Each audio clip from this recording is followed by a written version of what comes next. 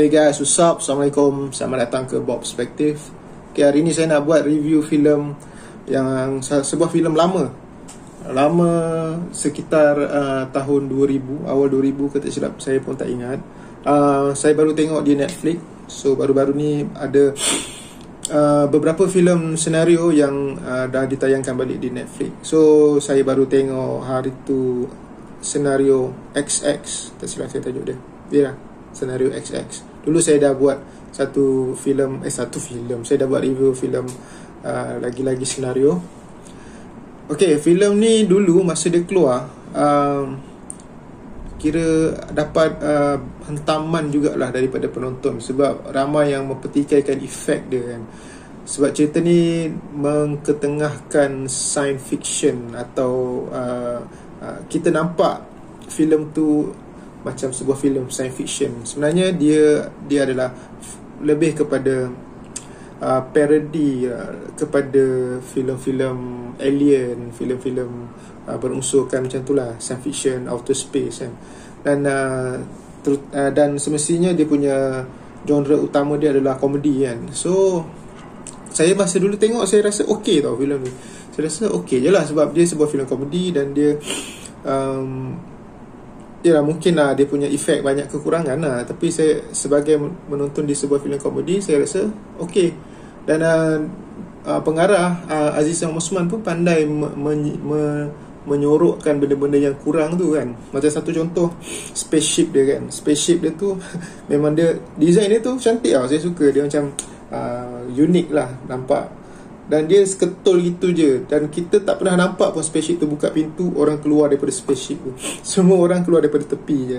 So kat situ saya nampak dia menyorok kekurangan dia lah. Sebab benda tu tak ada Dia tak buat pun benda tu function untuk buka ke tutup ke kan. Dia just buat seketul uh, Prop macam tu je.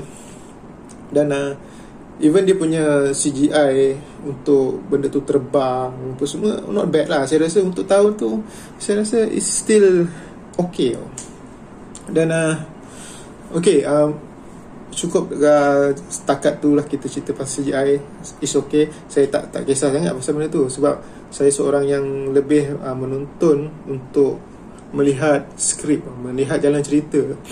Uh, sama macam SS3 yang baru itu ramai yang kata uh, special effectnya semua uh, apa CGI-nya tak berapa kan saya tak kisah benda tu sebenarnya. Saya uh, saya memang dah reserve benda tu macam tak power pun tak apa CGI kan. Asalkan cerita okey. Tapi yalah malangnya ceritanya pun pada saya okey um, kita berbalik pada X-ray X X-ray pula uh, senario XX um, ya cerita ni saya suka. Uh, permulaan cerita tu uh, first act second act tu saya sangat suka. Um, casting casting dia terutama senario lah dengan Fazura.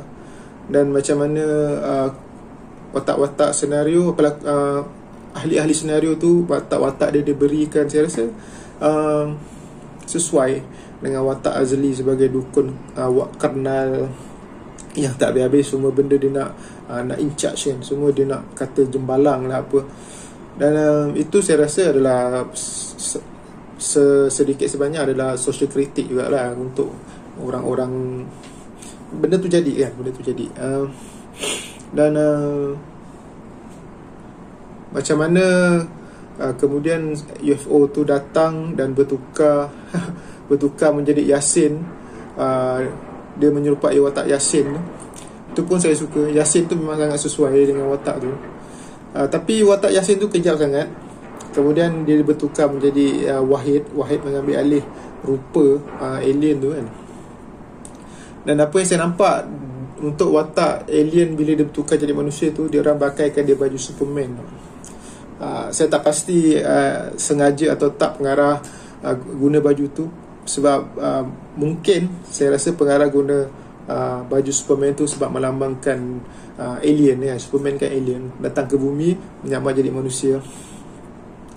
Dan uh, antara yang lagi yang saya suka cerita ni dia punya sinematografi.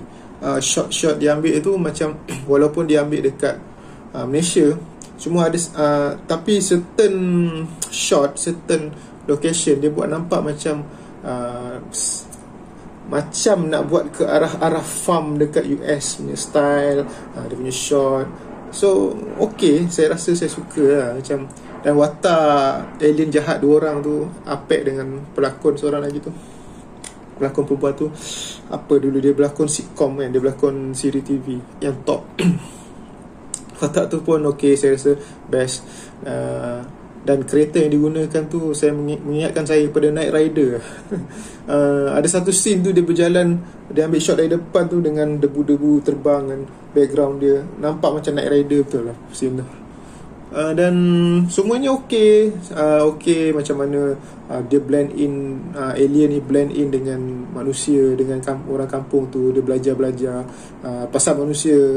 Dia ada perasaan. Uh, walaupun nak ikutkan uh, macam mana dia dapat perasaan tu pun boleh di, di boleh dipersoalkan lah kan sebenarnya. Uh, sebenarnya dia tu menyerupai manusia. Dia bukannya uh, masuk ke dalam badan manusia untuk dia dapat perasaan tu. Dia menyerupai kalau fikirkan balik macam mana pula dia boleh dapat perasaan kan? Dia hanya luaran dia je tapi ya cerita komedi eh.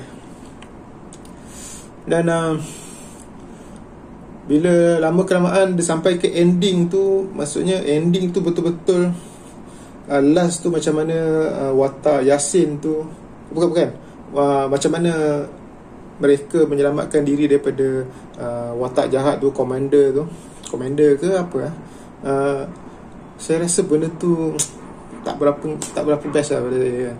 macam mana dia mengumpaskan hmm, saya kecewa sikit lah dekat situ. Dan uh, tapi lepas tu last-last tu dia orang ada buat penambahan uh, selepas cerita tu dah habis dah habis lah. Dia ada penambahan lagi. Watak ada cameo Roshamno apa semua. Benda tu saya rasa cool lah menarik lah.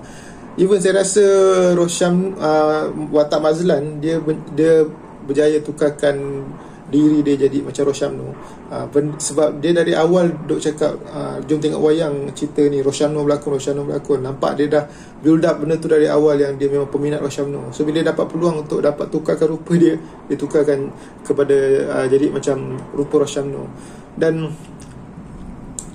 di akhir tu kita tengok Mazlan tu dah jadi Roshamno dan tentulah pelakon dia Roshamno dan Roshamno tu berlakon dengan suara Mazlan. So, saya nampak macam dia tu betul-betul Mazlan oh. Saya tak pasti uh, dia berjaya mengikut lakonan Mazlan atau suara Mazlan dengan Roshamno tu ngam muka dia tu kan? So nampak macam believable lah itu adalah uh, Mazlan.